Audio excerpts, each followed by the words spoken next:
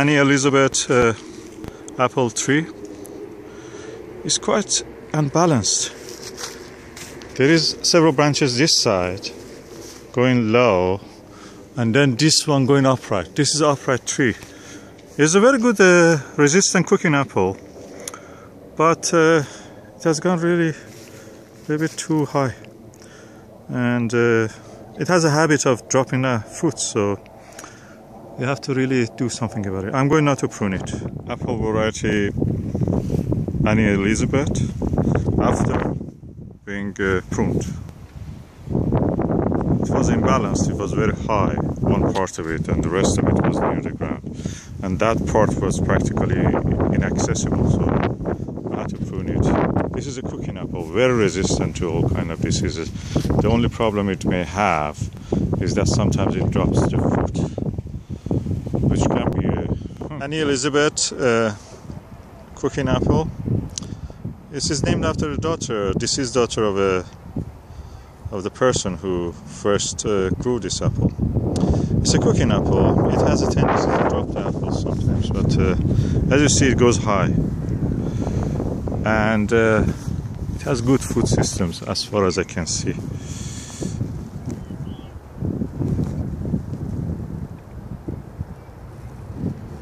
As you see here.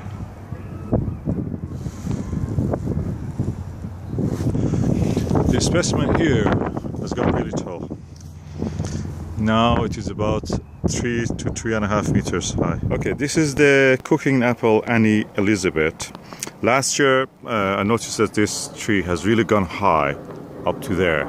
So I just uh, pruned it in the autumn. And look at what happened. It has given more than ever apples that are really beautiful and big. For cooking apple, that's really impressive.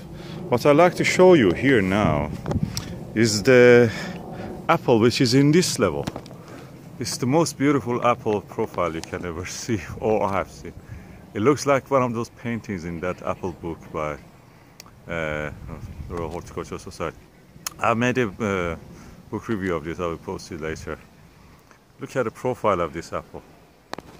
And look at the size compared to my finger. This is a big, impressive apple. Beautiful. And the profile you see is a pentagon. One, two, three, four, five sides. Is a pentagonal shape. Around probably so those five uh, cavities that they have, cells that they call it in the inside the apple around where the uh, seeds are, the seed cavities. Anyway, that's the biggest one.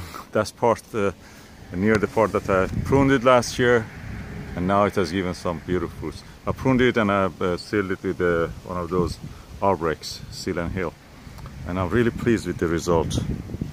Uh, of course, some apples are decaying.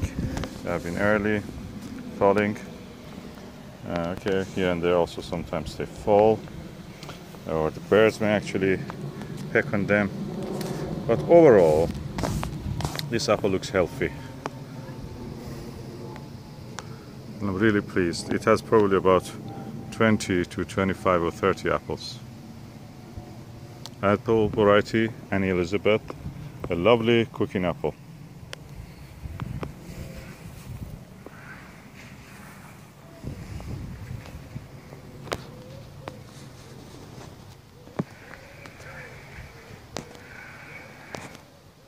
The cooking apple uh, Annie Elizabeth.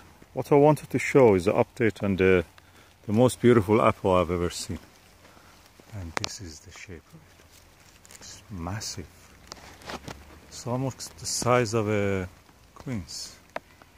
Can tell it's well about, uh, yeah, 12 centimeter. Oh, I love this. It's so beautiful.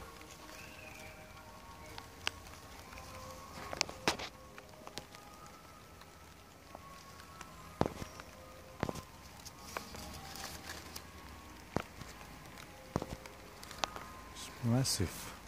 Okay, this is the update on the cooking apple Annie Elizabeth. As you see, the apple is getting gradually red. It's quite huge, the size of a yeah fruit, grapefruit or size of a big quince. It's getting really beautiful. And there is another example of it here, down here. Yeah, been a little bit damaged by the worms, but the color is typical of it. And uh, I'm going actually to compare it with the with the picture in the book.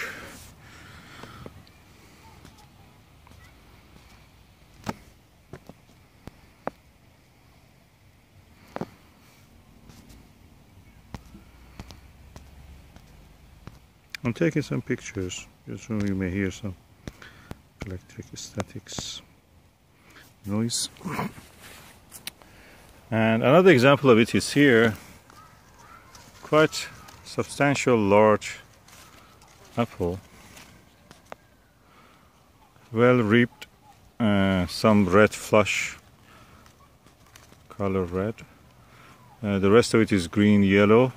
Where it is red is mostly yellow greens are changed to yellow.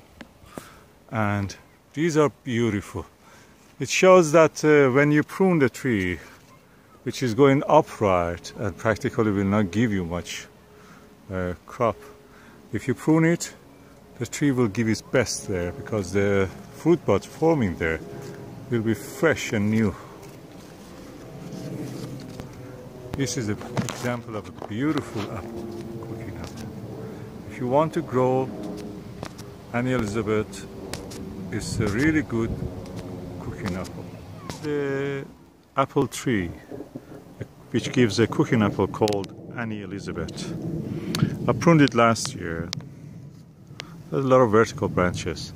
I'm doing an experiment now by encouraging one branch going horizontal, hoping that by this weight constantly pulling the branch down, it will eventually just shape itself in the horizontal direction or near horizontal direction.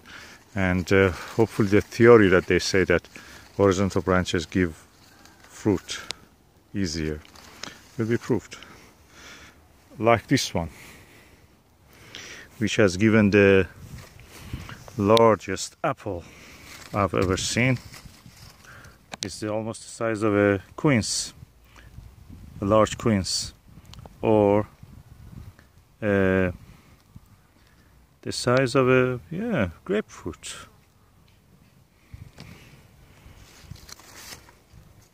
Compare it with my hand, and you see how big it is.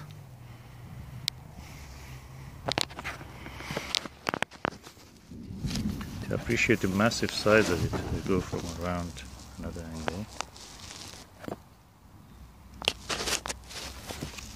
And if I put my hand under it, you can see what a big apple it is. Annie Elizabeth, impressive Hertfordshire uh, originated cooking apple. Apple trees have a habit of going upright in the branches toward the sky. So when they reach that height, you can practically not reach and uh, um, harvest apples. The one way of doing uh, good for yourself is to let them grow horizontally. I have done it here with uh, adding some milk bottle full of water, attaching with a string to the branch, so the branch comes down. One benefit of this is that the tree will also give fruit when it goes upright it will think that it has to grow. So it's going upright and will not grow much fruit in the sense of uh, production productivity. But when it go horizontal and they do it in nurseries like that the tree will give fruit. Fruit buds will grow into, onto it instead of leaf buds so I have done with this Annie Elizabeth tree such a thing. And as you see this branch is horizontal that branch hopefully will grow horizontal. This one I've done it now, it grows horizontal. This branch I've done it now, it grows horizontal. And that other branch also grows horizontal, as you see here. So there is a good chance that this tree in this year or next year uh, will give us some fruit. This is the Annie Elizabeth apple tree. Of course it was going really high now it is at manageable level we can reach we can also have fruit.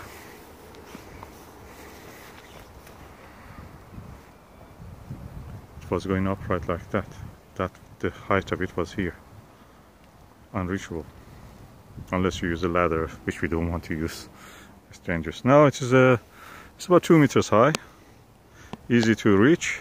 And hopefully these branches all these horizontal branches will give us fruit